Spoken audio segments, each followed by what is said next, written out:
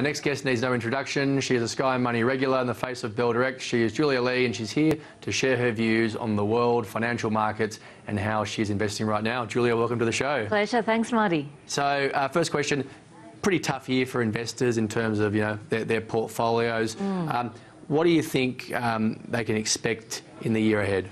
I think firstly, 2015 has been a really hard year for investors, and that's because on the index level, um, it has been difficult. If we have a look at the benchmark ASX 200 index, Yep. it's actually down around about 5%.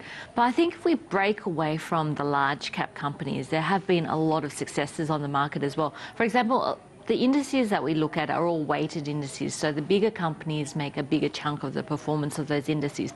But say we didn't weight the um, ASX 200 index, which is down about 5%, you'd actually have a positive 9% performance. So that means just taking the average of all of the 200 companies on the ASX 200, you've actually got a pretty decent performance. So if you had stayed away from a lot of the miners, some of the banks this year, you would have done well. And the same type of thing when you look at the mid cap and the small cap index as well. So having a look at some of those big performers, uh, their stocks like Blackmore's up 400%, Yeah. um, Bellamy's up 600%. Uh, look at Domino's up around about 100%, Magellan Financial Group, Henderson up around about 60%. So really, it's these growth stories which are dominating the market. So I think that's going to be a key focus in 2016. So you think? Um, so what you're saying is 2015 growth stories worked well, and you think that that trend will continue. What about at the sector level? What are you? What what sectors do you think will perform strongly next year? Well, I think there's going to be two key areas to look out for in 2016. One is a value area, and that's because certain sectors have been so beaten down, and mostly the commodity story. And the other side, I think, will be about trying to find growth in what is a very low growth environment. So I guess, um, well, value, it's important not to fall into some of those value traps and actually look for those companies that are going to change in terms of the underlying dynamics. I mean, one of the best performers in 2015 has been St. Barbara Mines. Now, this was a basket case last year, but it's managed to turn around its operations. The Aussie dollar's moved in its favour, and the stock's actually up by 900% Wow. this year so far. So it doesn't mean that you have to invest in the best performers. It just means that you need to start to see stocks pricing in better information. So it could be a stock that's beaten down this year, but you start to price in better news flow, and suddenly the stock price terms. The the other area is growth. And I guess for people who are looking for growth, the key question is, well, how do you find these companies? And At a there are- reasonable price. at a reasonable price. And there are a few things that I like to scan for as well. Um, one of these is looking for revenue momentum, so looking for revenue growth, even though there might not be profit growth, because this usually is a, a, a precursor to profit growth, and we know that earnings drives share prices, or looking for um, uh, momentum in terms of earnings or momentum in terms of price. And one of the things that we have at Bell Direct is um, a, a strategy builder tool where you can just scan the market with different ideas. And one of the scans I've liked this year is a dividend yield greater than 5% because Australians love dividends. Love yield, yep. Um, looking for revenue growth for the previous period being greater than the last full year period. Um, and then also looking for the 13 day uh, price performance to be greater than 5%. So looking for price momentum as well. And that's uh, returned around about 36% for the year annualized. But if you incorporate risk management into that and a 10% trailing stop loss, mm. that performance actually jumps to 63%. And so what sort of companies are falling in that in that world? Uh, I ran this scan not too long ago, and the top three companies that came up on this scan is a very small company called PSZ. This is um, in mostly the IT area, communications strategy, uh, and it's returned about 25% this year.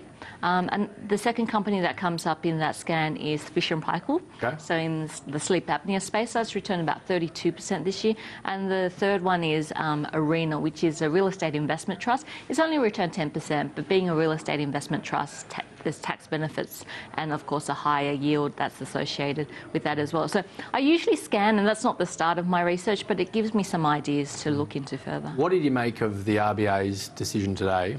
Um, and what do you think it's going to mean for, say, some of the consumer discretionary stocks? The RBA seemed fairly content with where things were, and you'd have to say that the settings at the moment are getting fairly appropriate for, for some of the, the retailers, albeit, you know, Dick Smith got hammered, but we've got low oil prices, we've got low interest rates, um, improving consumer confidence. Do you think any of the retailers could look better in 2016? That's a really good question at the moment, um, Marty, because I think in terms of retailers, we're seeing two types of trend. One are companies that are doing extremely tough, and you mentioned Dick Smith, and that's probably going to have repercussions for some of the other electronic retailers out there in the market. For example, two retailers that have been doing pretty well in 2015 have been um, Dick, Dick, Smith. Um, uh, Harvey Norman as well as JB Hi-Fi. Yep. But because of Dick Smith's problems, what we're probably going to see is heavy discounting in this space, and it's going to affect the whole whole sector there.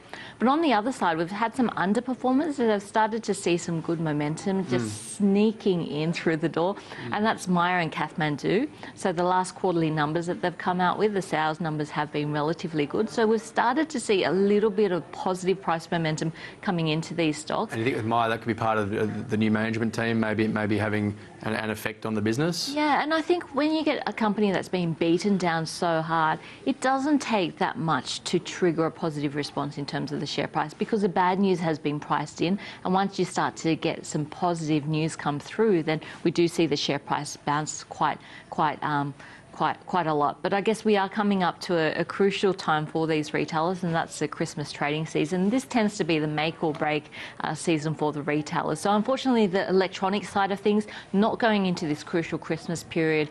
On a good note, but on the other side, there are some retailers which are showing some signs of uh, life. What about some of the beaten up blue chips, names that we all know and love? You know, the Woolworths, the the BHPs. What's your position on, on them at the moment, looking ahead for 2016?